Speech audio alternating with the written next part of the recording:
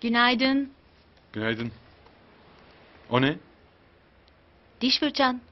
Benim odamda unutmuşsun. Bu nasıl gelmiş senin odana ya? Bilmem.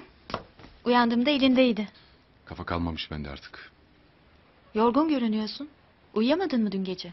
Çok kötü bir geceydi ya. Ne oldu ki? Annem gelmiş ben yokken. Ee, E'si Aliye'nin yüzü bir karış. E ne yapayım Leyla ya? Gelmeme diyeyim anneme. Nasıl diyeceksin diyemezsin tabii. Ne oldu peki? Anneye sorun mu çıkardı?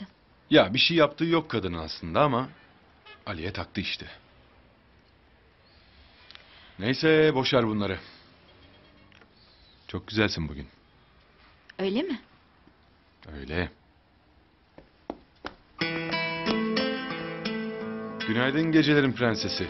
Kim o prenses? Ben miyim? Nasıl geçti geceniz majeste? Neler yaptınız doktor beyle?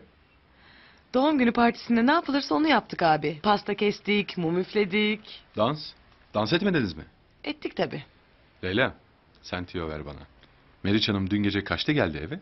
Erken geldi. Ya insan hazır sevgilisini bulmuş erkenden gelir mi? Gez kızım sabaha kadar uyumaya gelirsin işte.